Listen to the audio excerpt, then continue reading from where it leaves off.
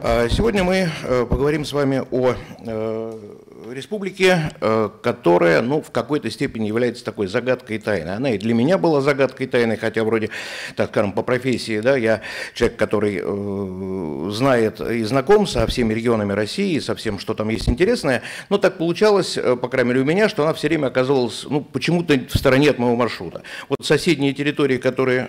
Так, соседние территории, которые окружают, э, соответственно, Туву, э, это э, Иркутская область, я там много раз был, Бурятия, я там много раз был, Алтай, очень люблю, был там, а Красноярский край, все, что можно, обошел, посмотрел, а вот как-то вот Тува, она оказалась в стороне. Ну вот, наконец-то, мне повезло, что я смог посмотреть этот такой действительно загадочный, очень не похожий, на мой взгляд, по крайней мере, не похожий мир на другие территории э, России. Э, хочется сказать спасибо огромное тем людям, которые помогли мне осуществить это путешествие. Прежде всего, это Тувинское отделение Русского географического общества, э, которые и маршрут помогли составить, и, в общем, собственно говоря, многое что сделали. Сегодня о некоторых из них я вам расскажу. Э, республика э, Тыва, давайте сразу начнем с названия, поскольку это, наверное, одна из тех республик, с названием которых возникает много вопросов. У нас две таких подобных э, республики, с непонятно, как о них говорить. Это республика Саха и Якутия, это все-таки Саха или Якутия, или Саха. И вот то же самое здесь. Тыва или Тува, все по-разному говорят, да и я иногда себя ловлю на мысли, тоже по-разному говорю. И, в общем, нарушений здесь никаких нет. Согласно Конституции Республики Тыва, мы можем, в принципе, употреблять и то, и другое выражение. Однако, Однако существует такое негласное правило для жителей республики о том, что когда мы говорим официально что-то, вот республика, это тогда Тыва. Поэтому, как вы видите, на гербе как раз именно подписано Тыва.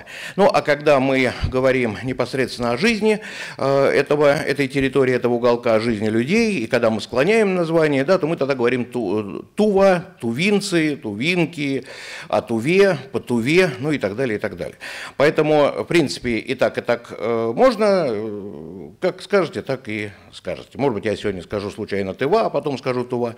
Так что я надеюсь, жители Тувы, которые меня смотрят, я знаю сейчас, по крайней мере, те люди, с которыми мы познакомились, замечательные жители Тувы, они сейчас, несмотря на то, что у них 10 часов вечера, уже пол вот, они смотрят э, на нашу сегодняшнюю встречу. Так что, надеюсь, они меня тоже поймут. Э, очень символичный флаг и герб э, республики, который вы сейчас видите, на флаге, э, ну, я не скажу, что это главная достопримечательность, но гордятся тувинцы этим, у них начинается Енисей. Да, в городе Кызыл сли, э, происходит слияние двух рек, Большой и Малый Енисей. Соответственно, на месте слияния стоит город Кызыл. И вот на карте, собственно, вернее, на флаге мы с вами как раз видим две этих речки.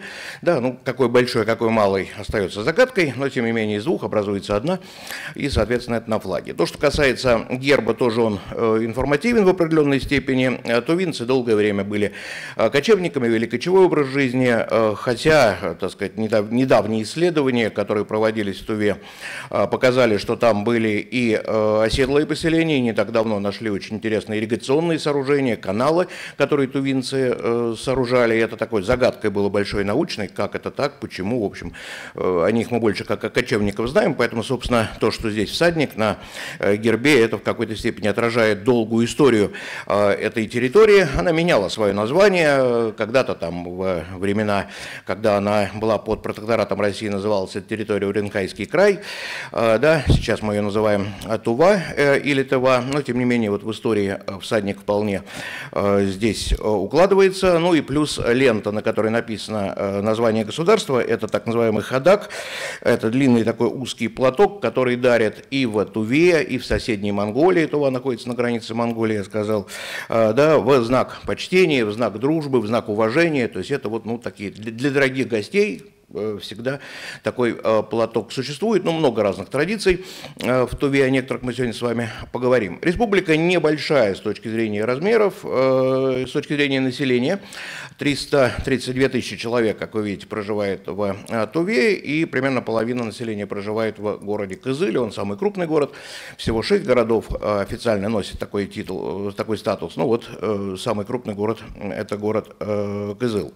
Республика такая типичная частично национальная республика. Когда у нас деление происходило России на субъекты федерации, то с учетом того, что мы очень многонациональное государство, в свое время при становлении вот этого административно-территориального устройства было учтено, что если люди проживают какой-то национальности исторически в том или ином месте, то тогда такие территории получают статус республики. И вот первые республики, которые у нас появились, ну и большинство современных республик, это республики именно по такому национальному принципу. Да, республика Бурятия, буряты, да, республика Якутия, якуты, да, республика Карелия, карелы, республика Тыва или республика Тува, соответственно, тувинцы. Ну, э, в последнее время некоторые изменения произошли политические, и некоторые регионы сейчас называются республикой не совсем по национальному признаку, но, опять-таки, это так или иначе допустимо.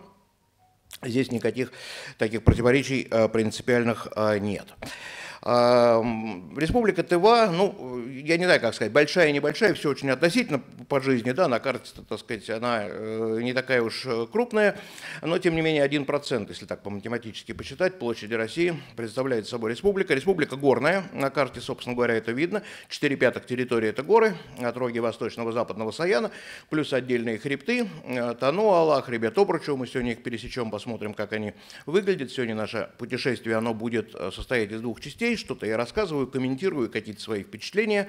А э, мне бы хотелось обратить внимание, что у нас с вами такая ненаучная лекция, и я не ставлю перед собой цель так вот выдать вам физико, экономико, географическую характеристику данного региона России. Да, это, в общем, э, путевые заметки. Вот есть непутевые заметки, кстати, э, Дмитрий Крылов так сказать, конкурентом оказался не так давно, показал две программы.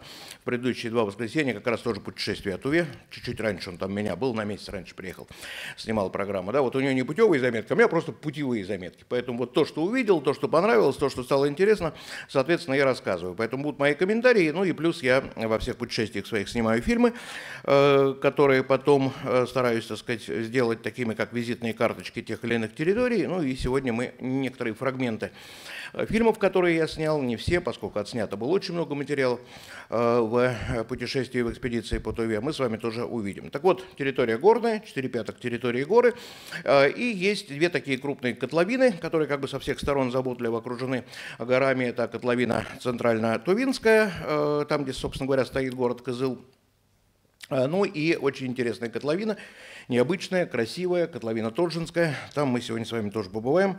Э, жители Тувы говорят, что если ехать в Туву, надо вначале в Торжинскую котловину ехать. Такое выражение есть у них. Кто в тот же не бывал, тот, собственно, увы, не видал. Ну, посмотрите, сравните, как это на самом деле, э, что происходит. Значит, как будет построен наш э, маршрут путешествия? Э, ну, опять, объять необъятное нельзя, поэтому я сегодня включил в нашу с вами встречу ну, такие вот уголки, которые, на мой взгляд, являются в определенной степени визитной карточкой территории.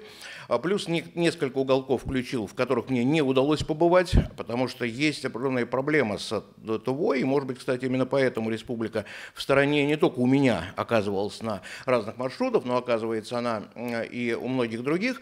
Дело в том, что республика очень трудно доступна с точки зрения транспорта. Железной дороги нет. Есть только автомобильные дороги, причем их две. Одна такая федеральная основная дорога, по которой путешествуют люди, идет она из Абакана, из столицы Хакасии. В нашей следующей лекции мы как раз в Хакасии с вами побываем, об этом поговорим. А, так вот, идет она в сторону монгольской границы, такая федеральная трасса. А, очень красивая дорога, пересекает Саян, проходит через потрясающе красивый красивый горный массив Ергати. Э, находится он на территории Хакасии, мы о нем в следующей лекции поговорим. Ну и дальше, соответственно, идет на границе Монголии. Есть вторая дорога такая объездная, и, ну, насколько я понимаю, она такая второстепенная, не так многие пользуются ей. А, есть вариант, конечно, долететь на самолете, сейчас запустили, там аэропорт есть, э, в Кызыле можно долететь на самолете, но вот с учетом сложностей э, таких логистических, сложностей перемещения, Тува остается в какой-то степени недоступной. Плюс в плане дорог, ну, давайте так. Есть федеральная дорога, а, хорошая, симпатичная. Вот я на машине путешествовал по э, Туве, правда, на двух машинах пришлось путешествовать. Доехал я из Забакана на обычной легковушке, а дальше потом меня а, уже встретили сотрудники заповедника. Там мы возили уже на э, УАЗике, потому что по-другому во многих местах не проедешь. И вот если вы захотите посмотреть все то, что сегодня мы будем с вами э, наблюдать, и в том числе фильмы, то примерно, ну, мне так кажется, две трети маршрута маршрутов, это все-таки для некого вездеходного транспорта. Поэтому это проблема серьезная. Вторая проблема серьезная, которая в какой-то степени многих э, ну, настораживает, как я понимаю, людей в плане путешествия по Туве, это инфраструктура. Она там ну, практически не развита. Да простят меня люди Тувы, но в общем это так. В Кызыле есть потрясающая пятизвездочная гостиница. Вот, э, все замечательно, все хорошо, такие хорошие пять звезд, потрясающий вид э, из окна, вот прям вспоминаю, как внизу Енисей, слияние Енисея, все замечательно. На этом, собственно, все и заканчивается, потому что все остальные гостиницы, они относительно простенькие, но это еще Кызыл. А э, если мы с вами отъедем от Кызыла, то, ну, за исключением одного комплекса, сегодня о нем скажу в самом конце, этнографического, который не так давно построили, он является таким, извините, местом разных встреч, которые проходят в Кызыле. Все остальное это такие небольшие э, базы отдыха, небольшие какие-то хостелы, и, э, так сказать, это тоже, в общем, людей в какой-то степени отпугивает. Все-таки современные путешественники, многие привыкли к тому, чтобы, так сказать, ну да, и посмотреть что-то хорошее, интересное, да, ну и комфортно отдохнуть. А, так что поэтому э, это такая серьезная проблема. Есть еще одна проблема, по крайней мере, если вы наберете в интернете фразу «опасно ли в Туве», то я вас уверяю, там вот наверное, несколько страниц будут все писать всякие ужастики, опасно, не езжайте, вечером не ходите, ну и так далее, и так далее. А здесь сразу хотелось тоже сказать, как бы вот, поскольку все это наблюдал, давайте так, опасно везде, даже в Москве, наверное, да, где-то ходить ночью. А, да, а, тувинцы – это люди э, со своими э, жизненными устоями, со своими какими-то правилами, э, и, может быть, какие-то вещи, которые там мы вытворяем, так скажем, приезжая к ним как гости, им не нравятся. Плюс есть серьезная проблема, она решается, но проблема э, алкоголизма, вот это действительно довольно опасная штука, и поэтому, если кто-то поедет в Туву, имейте, пожалуйста, это в виду, ни в коем случае людей не угощайте и, э, так сказать, ну, держите себя под контролем, это серьезная проблема. Ну, решают тувинцы ее, по крайней мере, за последние несколько лет, вот из того, что я знаю, так сказать, очень многое, что было э, сделано. Кстати, в Туве, я не знаю, где в других республиках России такое есть, э, алкоголь в Туве продается, как в советские времена, даже более жестко, с 11 часов дня до 3 часов дня, и то только в специализированных магазинах, больше нигде. Вот, но, тем не менее, это проблема, и, э, так сказать, в какой-то степени, вот, может быть, единственная сложность представляет, потому что не всегда люди адекватно к нам реагируют. Вот, по крайней я проехал 2000 километров по Туве, вот честно могу сказать, ни одного человека, который на меня посмотрел как-то настороженно или попытался мне что-то такое сказать, а, я не встретил на мой взгляд, совершенно добрые, совершенно нормальные, совершенно гостеприимные люди. И еще раз, те, кто меня смотрит сейчас в Туве, спасибо вам большое за ту сказку, которую вы мне а, подарили. Ну, мы вернемся к маршруту. Да? Маршрут, соответственно, э, составлен был по, по максимуму. Я хотел посмотреть, что вот удастся за то время небольшое, которое я был в Туве. Ну вот часть мы с вами сегодня посмотрим. Побываем мы с вами в долине царей. Это уникальное место э, не только для, Хака... не только для э, Тувы, но и для всего мира.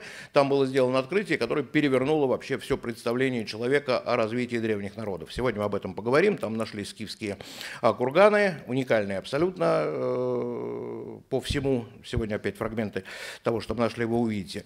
А, так что долина царей нас э, ждет. Дальше мы э, побываем с вами на дне Енисея. Скажем так, нам повезло, что нам удалось походить по дну Енисея. Ну, точнее, по дну Саяно-Шушковского водохранилища. Дело в том, что после постройки водохранилища Енисей частично вышел из берегов, и он затопил очень многие территории, интересные с точки зрения истории, где были опять-таки курганы, захоронения, где когда-то жили древние, в том числе скифы.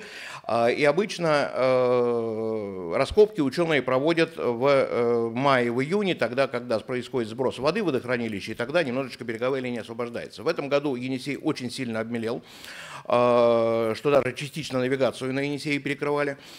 И за счет этого, в частности, вот в том месте, где мы с вами побываем, а, это э, местечко Алатей, где сегодня работает очень интересная экспедиция археологическая с руководителем экспедиции. Мы там небольшое интервью записали, на мой взгляд, довольно интересное. Так что узнаем некие тайны. Далее нас ждет с вами один из очень красивых каньонов э, в Туве. Каньон называется Дургенский. Э, поговорим, почему он так называется. Дальше Дальше нас с вами ждет э, путешествие в, э, к нескольким святыням буддийским. Мы увидим одну из трех в мире э, ниш, где выбит Будда. Да, поговорим об этом, что это такое. Далее нас ждет настоящая пустыня. Вообще Тува уникальный регион России. Там практически представлены все природные зоны, э, начиная от пустыни и практически заканчивая вечными снегами и льдами. Так что, по сути, географию можно изучать земного шара. Плюс там есть уникальная Пснурская котловина, э, памятник мирового значения, занесенный в список, в список ЮНЕСКО, где вообще на небольшой территории можно э, практически увидеть все природные зоны. Ну вот, так сказать, некоторые такие необычные места мы посмотрим с вами. А еще э, одно место, где мы побываем с вами, мы побываем на берегу Соленого озера, одно из самых соленых озер России, 280 промилле солености у него, 280 грамм соли на литр воды. Это, ну, вот, по сути, Баскунчак, Мертвое море. Э, я там такие э, интимные кадры, как я в нем пытался купаться, не показываю в фильме, но вот как поплавок, ты там ложишься и как поплавок получаешь удовольствие. Озеро лечебное, таким, так сказать, пользуется очень Э, большим притяжением э, для э, туристов, для жителей Тувы.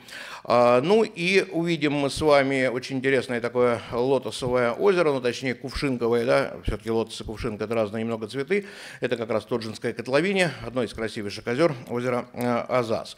Ну и, естественно, мы побываем в центре Азии. Считается, что центр географически азиатского континента находится в городе Кызыл. Ну вот на маленькой фотографии мы увидим потом это все поподробнее.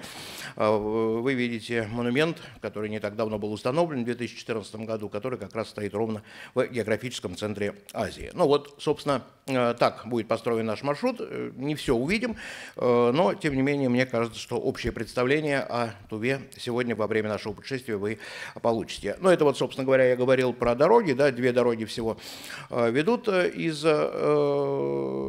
других регионов России в Туву, да, ну вот две дороги, которые подходят к Хакасии вы, собственно говоря, видите. Ну, а сейчас давайте попробуем первое представление получить, такое видео представление, э, первый наш видеоролик.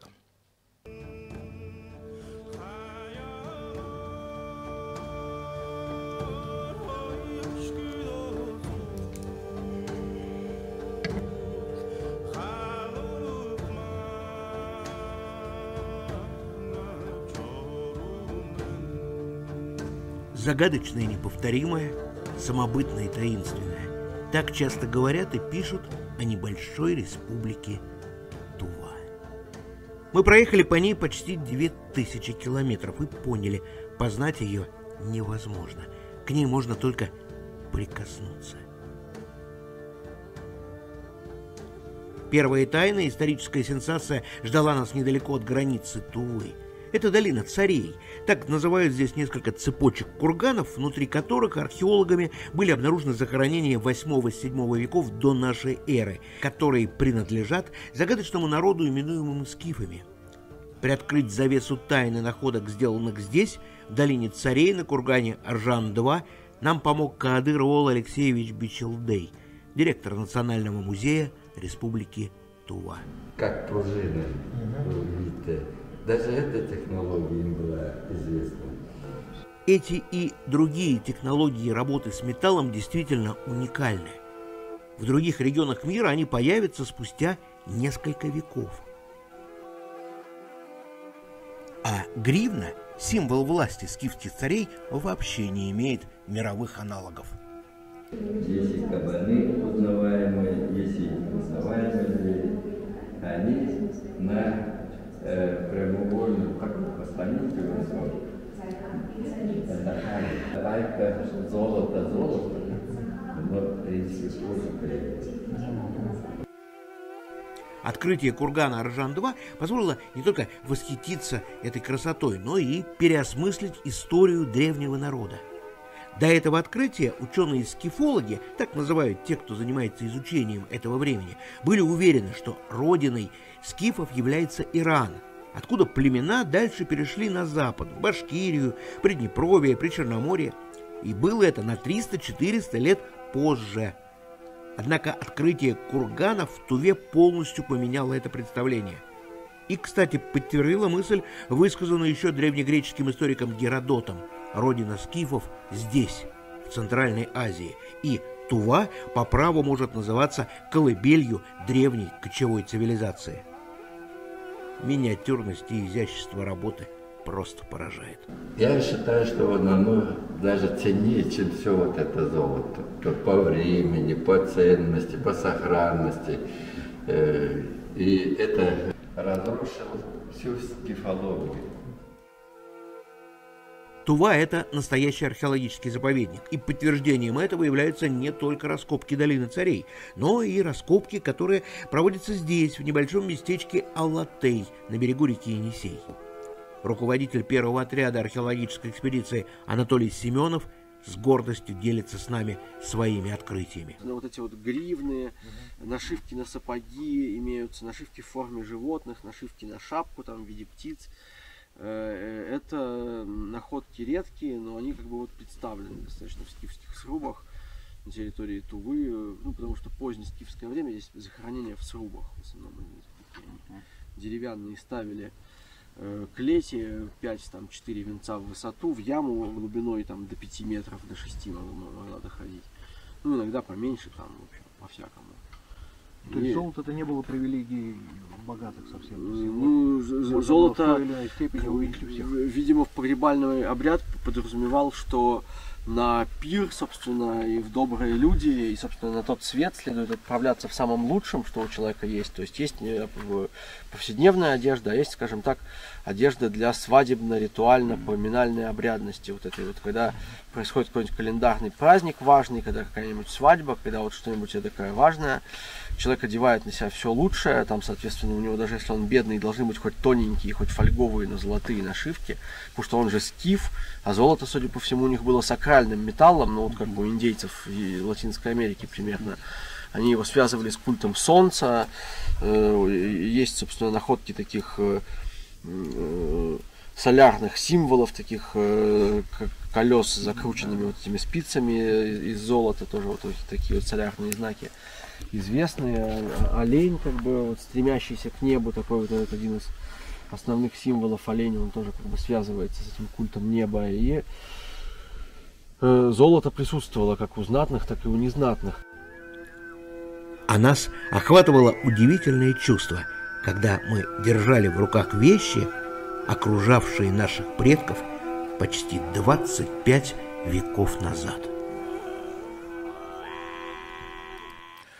Ну, вот такое открытие было сделано, действительно потрясающее изделие. Э, надо понимать, что э, вот э, то, что вы видели, да, вот то, что мы снимали в музее, то, что вот здесь фотография есть, это, ну, так скажем, опередило очень многие технологии в других странах мира. То есть, поэтому открытие для ученых это была такая действительно научная сенсация, и до сих пор проходят раскопки, до сих пор много чего находят. В общей сложности вот на этом кургане Аржан-2, о котором мы говорили, который в долине царей находится, было найдено 11 тысяч тысяч предметов а, самых разных. Часть из них э, находится сегодня в музее э, Тувинском национальном, очень богатом музее, удивительном, абсолютно удивительный директор, вот, который вел экскурсию, он специально для нас все рассказывал и показывал. Ну, потрясающий человек, который настолько влюблен в, э, и горд своей республикой, что вот буквально в каждом слове его чувствуется, он удовольствие получает от того, что нам это все показывает и рассказывает. Э, так вот, вторая часть коллекции находится в Эрмитаже, так что если будете в Эрмитаже, то тоже можно посмотреть результаты раскопок. Хочу вот обратить внимание вот на этих маленьких животных. Это на самом деле было когда-то украшение одежды царя и цариц по методу Герасимова, кстати, сделанное.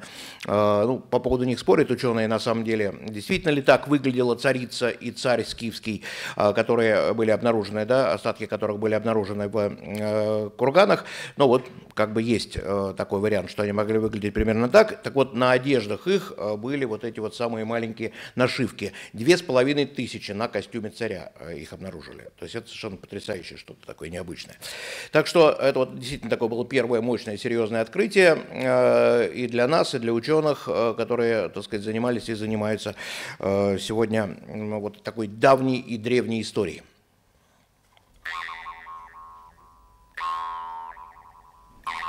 Каждый день путешествия по загадочной Туве дарил нам интереснейшие открытия и необычные встречи.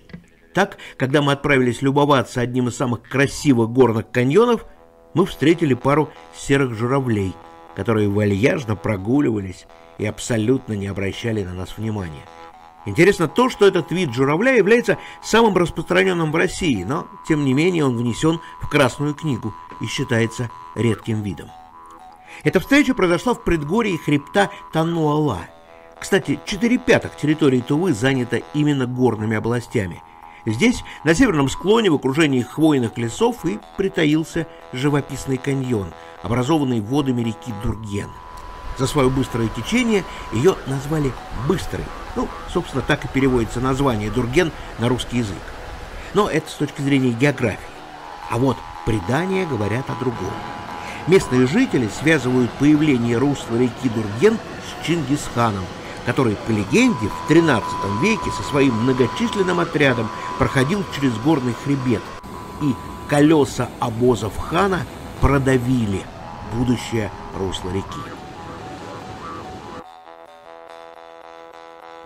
С именем Чингисхана связывают жители Тувы и образование озера Чагатай, самого глубокого и самого большого озера Тувинской котловины. И здесь тоже легенда и предания. Причем одни из них связаны с сыном Джагатаем, а другие с дочерью, тоже по имени Джагатай. Кстати, это и есть одна из версий названия красивого озера.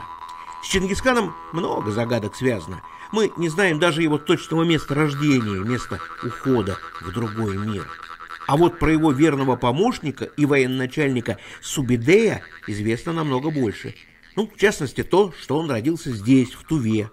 Поэтому не случайно не так давно в этнокультурном комплексе «Мир тувинцев» появился памятник, на котором полководец изображен сидящим на коне со всеми видами снаряжения. Лук со стрелами, сабля, копье – он был единственным военачальником, кому доверял возглавлять Чингисхан любое монгольское войско. За 59 боевых лет Субидей одержал блестящие победы в 52 крупных сражениях, во время которых он завоевал больше территории, чем любой другой полководец в истории. Рядом с монументом павильон, оформленный в буддийском стиле, в котором установлен субурган – буддийская ступа, посвященная богине, защитнице от непредвиденных и неожиданных бедствий. Практически на всем пути нашего маршрута мы постоянно встречали буддийские ступы, установленные в особых сакральных местах для местных жителей. Но есть в Туве и особые места поклонения. Одно из самых известных было создано на склоне горы Суме, близ устья реки Чаахоль, которая в этом году, как и Енисей, сильно обмелела. Здесь, в небольшой каменной нише, рукой древнего мастера, а историки считают, что это было ориентировочно в XIII веке, выбито барельефное изображение Будды с двумя верными стражами. Верующие уверены, буддийская ниша наделена особой энергетикой является местом силы, вдохновения и душевного спокойствия. Еще одно необычное место силы появилось в Туве совсем недавно, а его история такова – в 1992 году с пасторским визитом был в Туве Далай-Лама XIV. Пролетая над ее территорией с высоты, он увидел светящуюся яркую точку. Позже он сообщил местным буддистам о том, что видел знак Будды. И когда верующие отыскали его, они обнаружили небольшое углубление в камне, напоминающее след от ноги. Так, на земле Тувы появилось еще одно место поклонения и паломничества – след Будды. Обратите внимание, в трещинах камней можно встретить многочисленные свернутые листочки. Это молитвы и просьбы паломников к Будде. А рядом всегда горит очаг с подношениями. Здесь, как и во многих других сакральных местах Тувы, можно увидеть развешенными на шестах отрезы шелковых тканей с молитвами или изображениями божеств. Это один из буддийских обрядов – подношение ветрам. Ветер качает флаг и считается, что молитва читается. Но исцеление приносит не только вера человека, но и сама природа. Так, по утверждению медиков, вода озера Дусколь, что переводится как «соленое озеро» на русский язык, очень полезна для здоровья. Соленость в озере довольно значительная – на дне она достигает отметки 280 промилле, то есть на 1 литр воды приходится 280 граммов соли, ну, почти как в Мертвом море или озере Баскунчак. Вот именно эти соли, как и целебная грязь на его берегах, и помогают поправить здоровье, чем непременно пользуются и местные жители, и приезжие. Э, ну вот затронули мы тему религиозную. Здесь в этом отношении тоже все очень интересно. В Туве, да вообще там нет ничего неинтересного. Вот о, о чем не начнешь говорить или что не начнешь изучать, все как-то неинтересно, необычно. Э, есть такое умное слово синкретизм. Э, часто его употребляют в изобразительном искусстве. Под ним понимается такое соединение несоединимого, да, или соединение каких-то разных вещей в одном едином целом. Вот, в принципе, этот термин можно применить здесь, в Туве, с точки зрения религии. Потому что удивительным образом здесь уживаются абсолютно две разных религии, ну хотя все, в общем-то, религии похожи между собой, но тем не менее все-таки до два разных мира. Это буддизм и это шаманизм. Да, ну понятно, что шаманизм это э, древнее э, верование э, жителей Тувы, да, это верование в то, что у каждого уголка земли есть свой дух, у каждого дерева, у каждого животного, у каждого камня. Э, соответственно, э, этим духом, э, эти, этих духов почитают, к этим духам особые отношения, особые приношения. А, и, собственно говоря, этим жили люди э, долгое время и продолжают сейчас жить. Позже э, в Туву из Монголии и Китая, надо сказать, что история Тувы, она довольно сложная в плане вот их э, такого, так сказать, ну что ли, независимого пребывания. Они долгое время находились под властью либо монгольской империи, да, ну, в данном случае, так сказать, империи Чингисхана, какое-то время они находились под властью империи Цинь, это китайская империя, да, известная династия китайских императоров. По сути, они Э, относительно стали независимыми только в 1914 году, мы чуть попозже об этом поговорим, когда они э, вошли под протекторат России.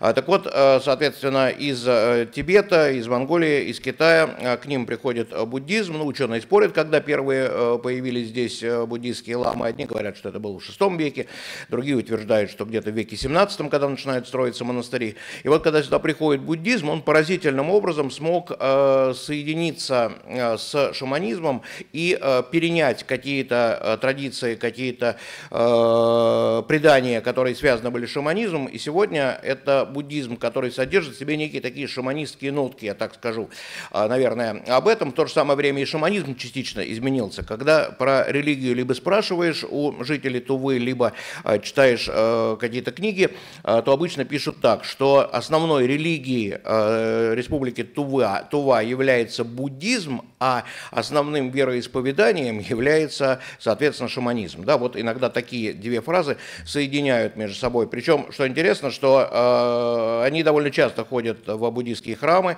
они ходят к ламам, советоваться по разным абсолютно вопросам. Это верующие люди с, с очень большим уважением относящиеся вот к этим особым сакральным местам, вот, которые мы видели с вами по дороге, э, установленные э, ступы. И, э, так сказать, вот мы когда путешествовали по Туве, во многих местах остановились, обязательно останавливались, обязательно какие-то были э, такие э, у нас э, остановки, ну так скажем, важные для жителей Тувы, да, в знаковых местах, и в то же самое время они обязательно отправляются к шаману с тем, чтобы о чем-то посоветоваться или вылечиться. Шаманы часто рассматриваются именно как лекари, и не так давно даже в Кызыле открыли клинику шаманскую, куда люди приходят лечиться от самых разных болезней. И это абсолютно такое серьезное отношение и к одному одному и к другому э, жителей э, Тувы, поэтому это ну, в какой-то степени, на мой взгляд, можно считать уникальным а, в э, России. Хотя на самом деле история знает, когда разные религии между собой соединялись, ну вот если мы возьмем с вами наше христианство, да, и возьмем православие, то ведь у нас есть некоторые православные праздники, которые выросли из язычества, да, ну не будем вдаваться в подробности, но Масленица, да, Масленица это все-таки христианский, да, праздник, Масленица это языческий праздник, когда-то он начался именно, соответственно, оттуда. И, ну, вот, э, так сказать, э, примерно такое же, можно сказать, произошло здесь, в э, Туве. Здесь, в Туве, находится резиденция верховного шамана России. Вот резиденция главного ламы в России находится в Республике Бурятия. У нас три района, вот на карте, собственно говоря, показаны основные районы, где какие религии распространены. У нас три республики, которые являются республиками буддийскими. Да? Это Республика Бурятия, это, соответственно, Республика Тува, это Республика Калмыкия. Да? В европейской части одна республика, Калмыкия. Мы побываем с вами там через некоторое время тоже на одной из лекций. А, и, соответственно, Республика Тува и Бурятия. Вот в Бурятии находится центр буддизма России под э, городом Улан-Удэ. Есть такое местечко очень милое, Волгинск называется. И вот там находится, так скажем, главный Датсан. А, ну, а вот здесь, в э, Туве, э, находится резиденция главного шамана России. В 2018 году произошла такая важная встреча шаманов с разных регионов России, там, где шаманизм представлен, в основном это большей части азиатские территории. И вот на этом съезде в 2018 году, соответственно, был выбран караул Дапчунуол. Вот он на фотографии в верхнем левом углу. Это главный официально шаман России. Как я рассказал, да, и к шаманизму, и к буддизму особое отношение у жителей Тувы. И не так давно появился очень такой важный тоже буддийский символ в республике Тува. Вот вы видите в нижнем углу. Это самая большая на сегодняшний день статуя Будды. Она была открыта в этом году. А, соответственно, вот фотография как раз там сделана а, с открытия этой статуи. А, да, и это такое, так сказать, ну, еще определенное уважение к буддизму. Сегодня мы э, чуть-чуть еще темы буддизма коснемся. Если говорить о представлении древних жителей Тувы и об их отношении к истории, к своему роду, э, к своим традициям обычаям, то есть еще одно очень интересное явление в Туве. Если будете путешествовать, то у вас будет возможность более 200 вот таких каменных изваяний встретить. А по поводу них ученые спорят, нет до конца точного понимания, что это, когда это было сделано, для чего. Но, по крайней мере, э, датируется э, подобное изваяние примерно первым тысячелетием. И довольно интересные многие изваяния похожи друг на друга. Это вот такие каменные, э, соответственно, изваяния человека, да, кижик уже, человек-камень, можно перевести так вот на русский язык с э, тувинского э, названия вот этих памятников. Как правило, многие фигуры держат в руке сосуд, да, вот видно здесь как раз, да, герой, так скажем, данного кижикажа держит сосуд. Что это за, за сосуд, что там хранилось, да, только догадывается. Плюс интересно, что пояс, который, ну вот он не так хорошо здесь на фотографии виден, пояс, которым а, подпоясан, соответственно, вот этот вот каменный идол, а, он тоже содержит в себе для историков такие важные артефакты, по которым можно примерно определить время, а, когда что было установлено.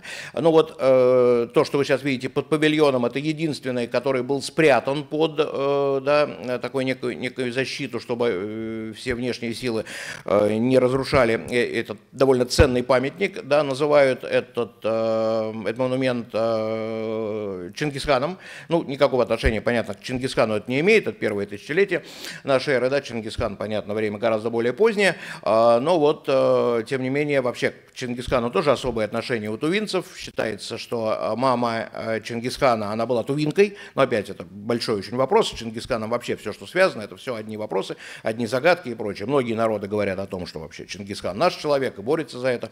Ну, монголы просто ни с кем не разговаривают на эту тему, говорят, что разговаривать, так сказать, наш человек, и поэтому самый красивый памятник в Монголии стоит, и самый мощный Чингисхану в интернете можно посмотреть, красивый такой, прямо вот, так сказать, уже на памятнике посмотришь и понимаешь, что ну, нельзя не поклониться, нельзя не высказать какое-то слово восхищения. Да? Хотя, на самом деле, очень такая трудная, противоречивая личность в истории.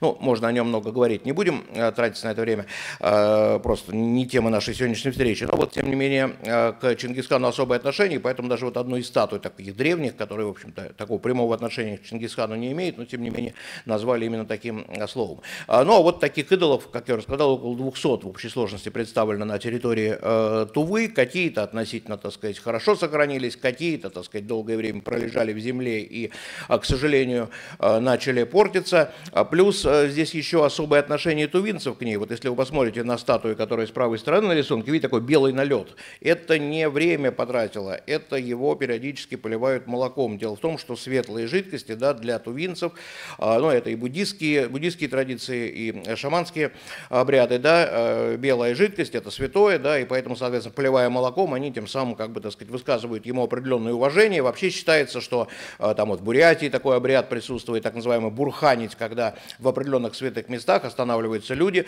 э, берут в руки стакан с какой-то жидкостью, ну, раньше брали молоко, да, сейчас, так сказать, все что угодно, включая спиртные напитки, да, ну, а дальше, опуская безымянный палец в жидкость, да, они разбрызгивают жидкость на четыре стороны света, это как бы подношение богам, да, а, ну плюс вот, так сказать, надо обязательно вылить на э, божество эту жидкость, да, это традиция, от которой очень трудно отказаться, и пытаются э, те, кто понимает, что памятники надо сохранить, что это наша история и хочет эту историю передать, пытаются всячески объяснить жителям Тувы, ну кто-то понимает, кто-то нет, поэтому, к сожалению, памятники частично э, разрушаются, но тем не менее, слава богу, что сохранилось, все-таки 200 это довольно много для Э, такой территории. Ну и еще, да, это место тоже поклонения, поэтому получается, что вот у тувинцев у них как бы таких три места поклонения. Это буддийские ступы или какие-то вот буддийские святыни, в, в частности, да, вот та ниша, которую мы видели. На сегодняшний день считается, что есть три ниши буддийских.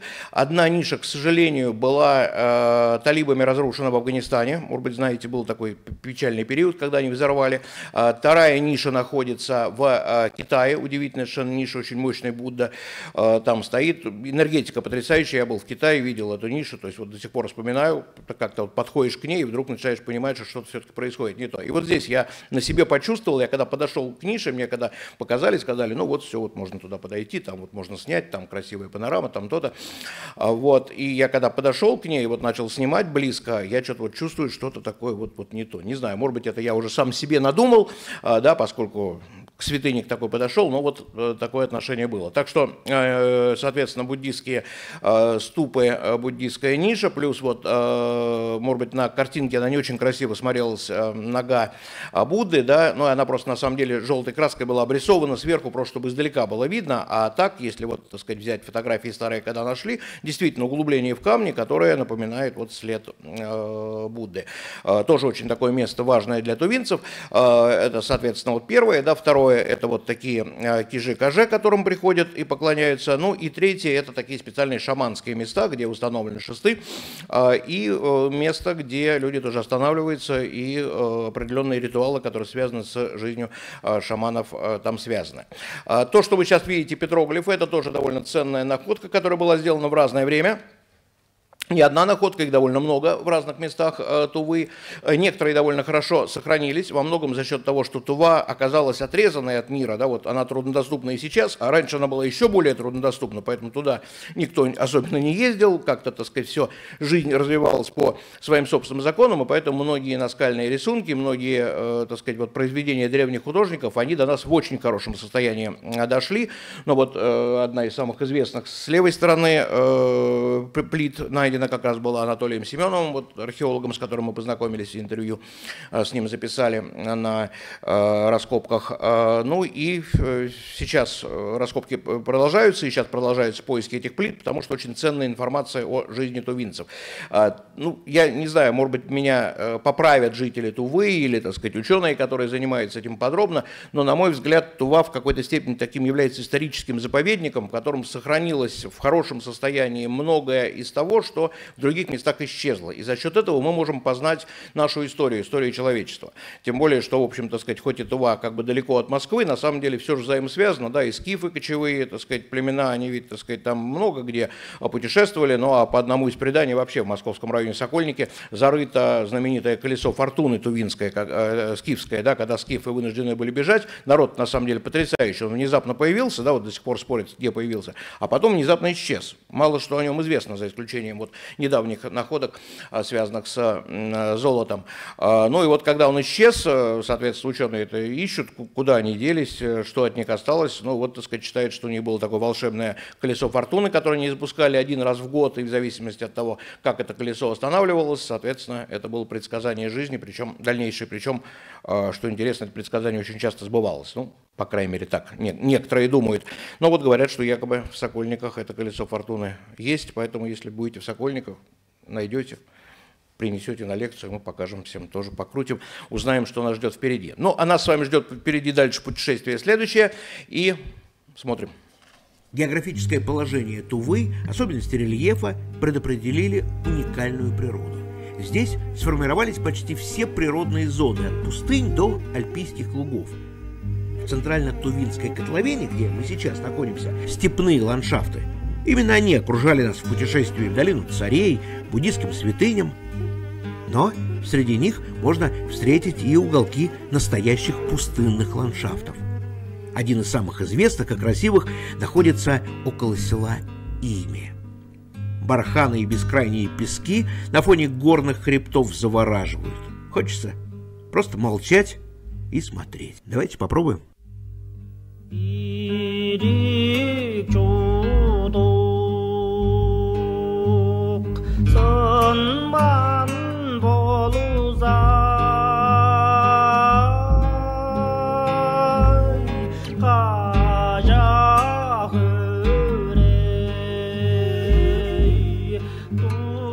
сейчас мы направимся на северо-восток Тувы, во вторую крупную котловину, Тоджинскую. Там нас будет ждать уже совсем другой мир. Но прежде до него ведь нужно добраться, а для этого пересечь хребет, названный в честь путешественника, ученого, главного геолога Сибири Владимира Обручева. И природа, видимо, чтобы не создавать резких контрастов для нас, начала постепенно готовить к новым открытиям. Степи сменились горной тайгой, которая периодически делила свой мир с горной тундрой – Низкие облака своей вуалью закрывали перспективу горных долин. Заморосил дождик, а температура с плюс 28 понизилась почти до плюс 14. И, видимо, чтобы закрепить эти изменения, внезапно к нам навстречу вышли северные олени. Здесь, на склонах хребта Обручева и в Тоджинской котловине, местные жители занимаются их разведением. Преодолев 170 километров почти за 5 часов, мы спустились в долину.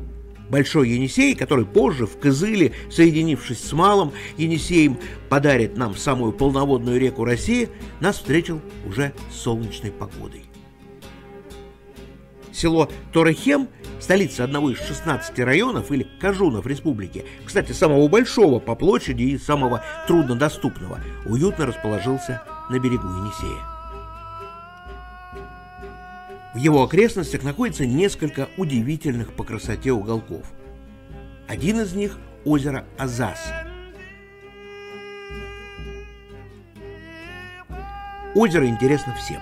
Ну, во-первых, здесь просто красиво. Девять островов делят его на уютные уголки. На берегах можно встретить редкие растения, занесенные в Красную книгу. А можно полакомиться дикой смородиной, голубикой, брусникой, клюквой, земляникой – один из символов озера – кувшинка.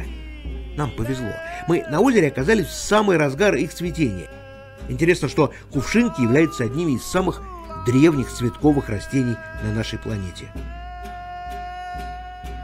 Соседнее с Азасом озеро Нагаанхол не только притягивает красотой, но и лечебным эффектом. Его название с тувинского переводится как «зеленое», ну, название, как вы сами понимаете, полностью себя оправдывает, а зеленый цвет воды связан с химическим составом и глинистыми отложениями на его берегах, которые, собственно, и оказывают целебный эффект.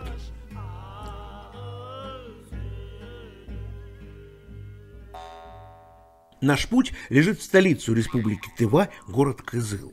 На подъезде по федеральной трассе к городу не так давно построили так называемый каменный город найденные при возведении трассы древние камни стеллы с наскальными изображениями и установленные в мини-парке, словно готовят путника к тому, что он въезжает в столицу древнего государства. А при подъезде к столице с востока гостей Кызыла и его жители, конечно, приветствуют Кадырчи, пастух, одетый в теплый тувинский халат тона и остроконечную шапку.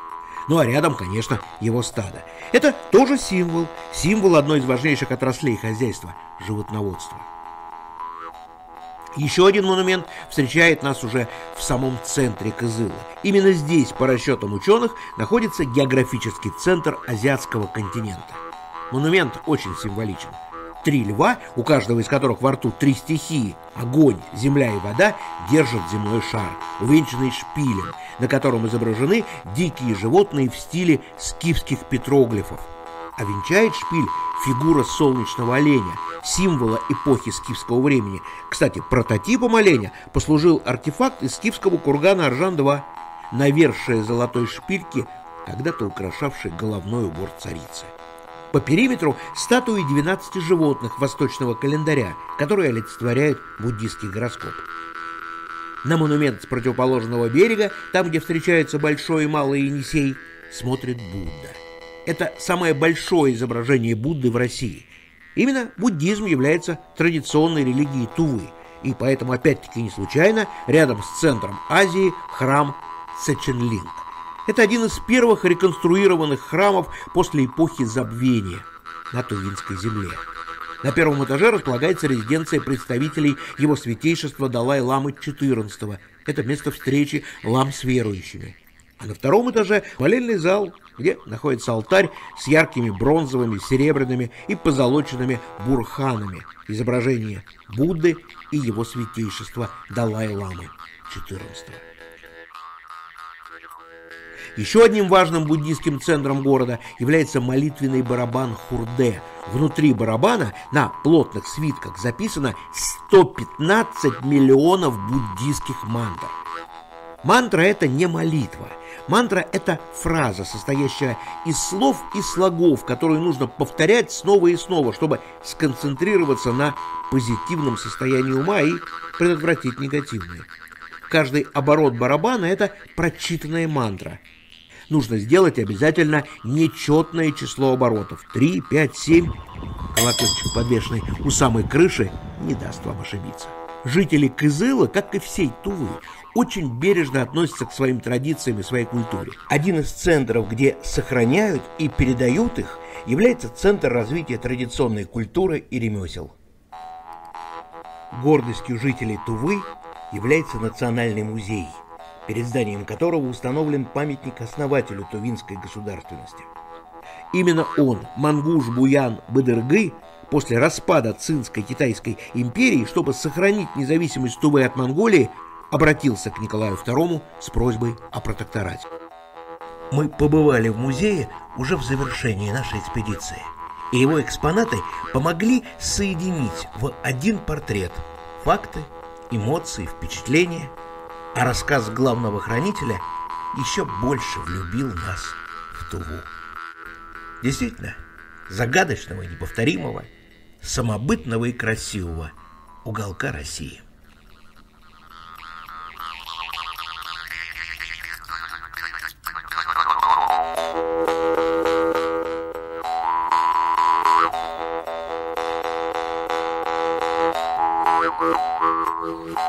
はっはっは。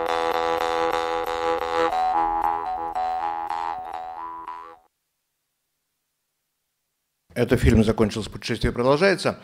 А, еще несколько уголков, о которых мне хотелось сказать. А, ну, во-первых, на границе республики Тувы и Монголии находится очень интересное озеро, озеро, которое называется Упсунур. А, что означает Упс, мы толком не знаем, по крайней мере, точного перевода нет. Нур переводится как озеро. Частично озеро, по-моему, там около 10 километров побережья, оно проходит прямо по границе России. Там рядом с этим озером открыт заповедник государственный. Это озеро внесено в реестр ЮНЕСКО. Как я уже сказала, э, по главной причине там на одной небольшой территории представлены все природные зоны э, Земли практически. Это э, в этом отношении уникальное очень место. К сожалению, не смог, не смог я туда добраться, довольно далеко был от нашего маршрута. Ну вот с дорогой мы увидели, какие дороги, 170 километров мы ехали 5 часов, и это еще хорошо, мне водитель сказал, нам повезло, что не было дождя и никаких-то других сложностей, поэтому, так скажем, на будущее я для себя запланировал обязательно там побывать очень красивая эта котловина Обснурская, и э, вот из того, что мне удалось узнать, эти фотографии, которые я видел, действительно э, поражают, да, как в одном месте вот так оказался такой мир в миниатюре. Э, я сказал о том, что входит этот памятник в список ЮНЕСКО. Напомню о том, что ЮНЕСКО – это международная организация при Организации Объединенных Наций, которая занимается вопросами образования, науки и культуры. И ЮНЕСКО составила список наиболее ценных объектов, которые находятся в разных странах мира, за которыми оно следит, которые считается достоянием человечества. Таких объектов 1154 всего в мире. Из этих 1154 объектов в России 31 объект, из них 20 культурных, ну я в кавычках взял, так скажем, не совсем правильно, так культурных, да, что остальные бескультурные, но имеется объекты культурного наследия, да, которые созданы были руками человека. Там это Московский Кремль, если брать Москву, да, и церковь Вознесения в Коломенском, кстати, вот в Москве два объекта относятся к ЮНЕСКО. Э, красивая шатровая церковь по указу Ивана Грозного была построена, те, кто в Коломенском Коломенском был, наверное, видел этот храм, очень интересный. Это шатровая архитектура, единственная церковная русская архитектура, потому что э, все здания мы строили и строим по канонам Византии, откуда получили христианство. Но вот, тем не менее, в свое время зодчие разработали шатровый стиль, и вот такой шатровый стиль представлен. Ну, кроме этого, там всякие белокаменные соборы Владимирской земли э, относятся в плане вот культурных объектов ЮНЕСКО. Ну и кроме этого, соответственно, это природные объекты ЮНЕСКО, их всего 11, э, действительно удивительные абсолютно места. Это хребет Секаты-Алинь, там есть местечко, где вот в свое время Дерсу уздала фильм, если смотрели, может быть, помните, да, и книга Арсеньева посвящена как раз путешествиям по реке, по реке Бекин. Удивительно красивое место, где соединились северные и южные растения. Да, но озеро Байкал относится к таким объектам. Плата Путарана, мы с вами побываем на нем, когда по Красноярскому краю будем путешествовать. Соответственно, горы Алтай сюда относятся, но в том числе относится и Уснурская котловина, о которой я сказал. Несколько буквально слов об удивительном человеке Владимире Афанасьевиче Обручеве. Вот мы когда ехали в Тоджинскую котловину, мы пересекали хребет, который был назван его именем. А в свое время он был назначен главным геологом э, Сибири. Это человек очень разносторонний, он был популяризатором науки, он написал несколько книг, две книги довольно известны, но одну книгу вы точно знаете, по крайней мере, по фильму, это «Земля Санникова». А, Причем интересно, что он написал он ее по впечатлениям а, от путешествия по э, северу э, человека, которого вы знаете все как верховный правитель России, по фильму, по камере «Адмирал» точно знаете, Александр Васильевич Колчак. Да, мы больше к нему относимся именно так. На самом деле это наш человек, это географ. А, очень много интересных исследований он проводил. В свое время в Иркутске читал лекцию о своих исследованиях, а Обручев, тогда еще совсем молодой, сидел на лекции, слушал а, Колчака, и вот так все это заинтересовало, и после этого появилась книга «Земля Санникова». Действительно, такую землю загадочную искали, а, да, и вот об этом произведении есть. Плюс еще одна очень интересная книжка будет, возможно, почитайте. «Плутония» — это такое путешествие фантастическое step подземный мир, где разные там доисторические существа встречают э, путешественников, которые опускаются как бы под землю. Э, обратите внимание на медаль, это главное, мы находимся в русском географическом обществе, я не могу об этом не сказать, и как член русского географического общества, это главная медаль русского географического общества, медаль называется Константиновская, в общей сложности всего чуть более 70 человек были награждены этой медалью. Э, медаль получила название по имени первого председателя русского географического общества Константина, соответственно, Э, великого князя, э, сына Николая I. Э, Русское географическое общество было основано в 1845 году. Дата основания Русского географического общества – это сегодня отмечаемый праздник каждый год, День географа. И буквально через год после основания Русского географического общества была создана медаль, которую назвали в честь великого князя Константина, которой награждали людей за особые заслуги в области географии и смежных наук. И вот одним из тех, кто получил эту медаль, медаль, соответственно, был э, Владимир Афанасьевич э, Обручев. Э, и интересная фраза выбита на этой медали. Мне кажется, так очень, так сказать, и приятно, что география это первый стоит на пользу географии, ну и общества. Вот. Ну, ничего против не имею, но, по-моему, такая при, приятная награда. Вот такую награду Обручев получил, но он, кроме этого, вообще по профессии был геологом, очень много проводил геологических исследований. Благодаря его исследованиям, в том числе, была построена Транссибирская знаменитая железнодорожная магистраль, самая длинная железная э, дорога. Э, ну вот, об этом удивительном человеке не, мог, не, не могу не сказать. Плюс еще он несколько лет был почетным президентом Русского географического общества. Э, еще одна интересная особенность, тоже не удалось мне побывать, очень хотелось, но очень трудно было туда добраться, нужно было лететь на вертолете, но как-то не сложилось, в следующий раз обязательно там побываю. Это щитовые вулканы. Обычно даже местные жители, когда их спрашиваешь, а вулканы у вас где? Они говорят, какие вулканы? Нет у нас никаких вулканов, у нас все хорошо, тихо и спокойно. Ну, на самом деле есть вулканы, их э, несколько, они э, давно уже уснули, э, хотя извергались они не так давно, всего 2 миллиона лет назад были, эти извержения, причем это довольно интересные вулканы, называют их щитовыми, потому что вершины их как щит такая выровненная, они цилиндрической формы, отвесные вертикальные стены и, соответственно, так сказать, такое вот ровная плата, где происходило изливание. Излияние это было то время как раз, когда озеро Байкал образовывалось, это граница рифтовой Байкальской зоны а, в свое время, и здесь было когда-то дно моря, и извержение вулканов шло еще на одно море. Сейчас как таковых извержений вулканов нет, но землетрясения в Тубе встречаются, не так часто, но встречаются, они регистрируются датчиками.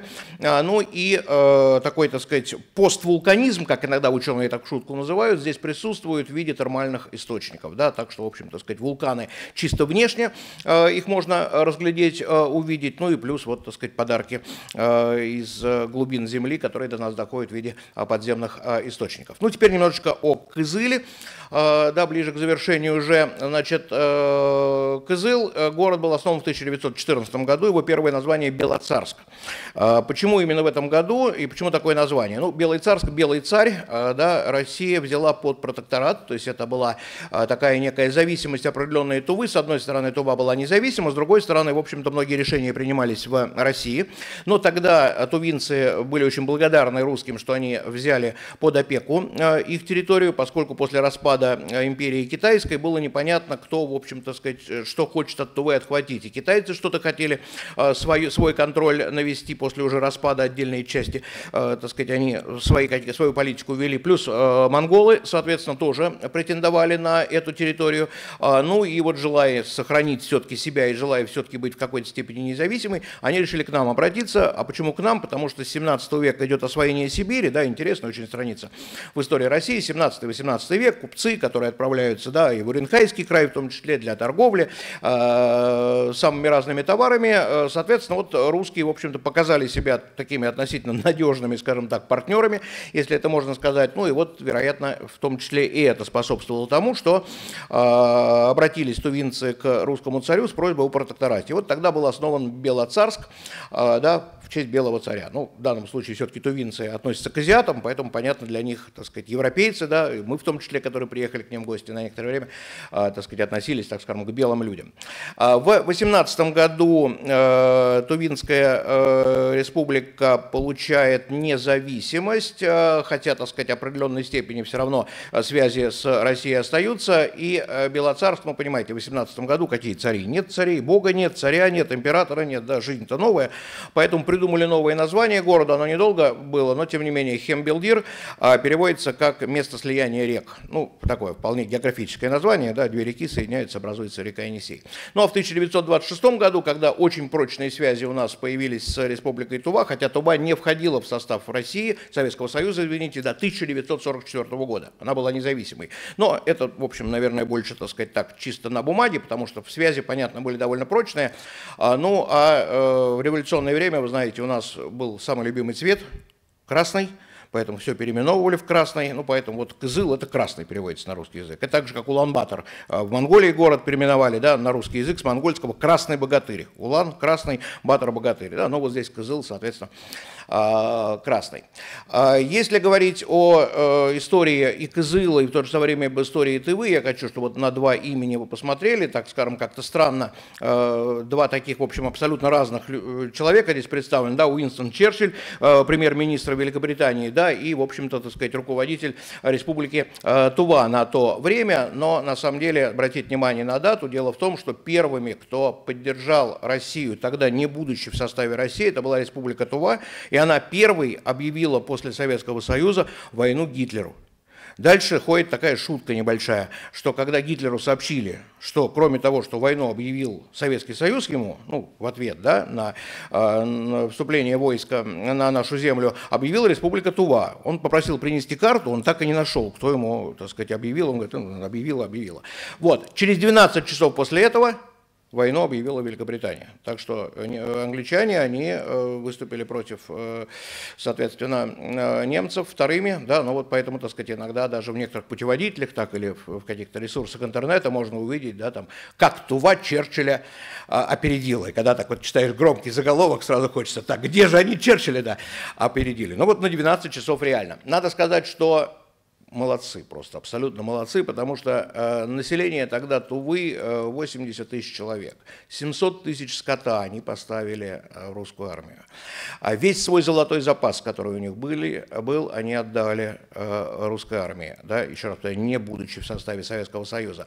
Они делали лыжи, они шили полушубки, они, ну, чего они только не делали. То есть, так сказать, ну, сказать о том, что, конечно, победа не только на их труде была основана, но то, что они внесли значительный вклад в том числе, особенно в первые очень сложные годы войны э, Великой Отечественной, это абсолютная правда. А, и, что тоже очень интересно, в 1944 году э, руководитель э, Тувы на то время обратился к Сталину, и, казалось бы, странно, да, идет война, а тем не менее, так сказать, да, жизнь продолжается, и Сталин подписал указ, вот этот указ, так скажем, в уменьшенном виде вы видите на экране, да, 11 октября вступил этот указ в силу, что Тувинская а, территория Тувинская независимая тогда республика становится Тувинской автономной советской социалистической республики. Вот так выглядели ее государственные символы, государственный герб, соответственно, и государственный а, флаг. Ну, мы говорили про географический центр России, э, про географический центр Азии. На самом деле довольно условное э, понятие. Э, ну, существует много разных географических центров. С точки зрения науки географический центр – это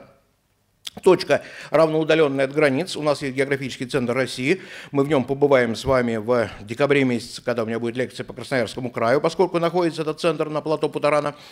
А, да, э, здесь географический центр Азии, два города э, на него претендуют, это китайский город э, и, соответственно, город Кызыл. На самом деле сказать, кто прав, невозможно, потому что как посчитать равноудаленность у объекта, границы которого не определены? Ведь Азия – это историческая область, да? Была Европа, была Азия, потом позже Евразия стала.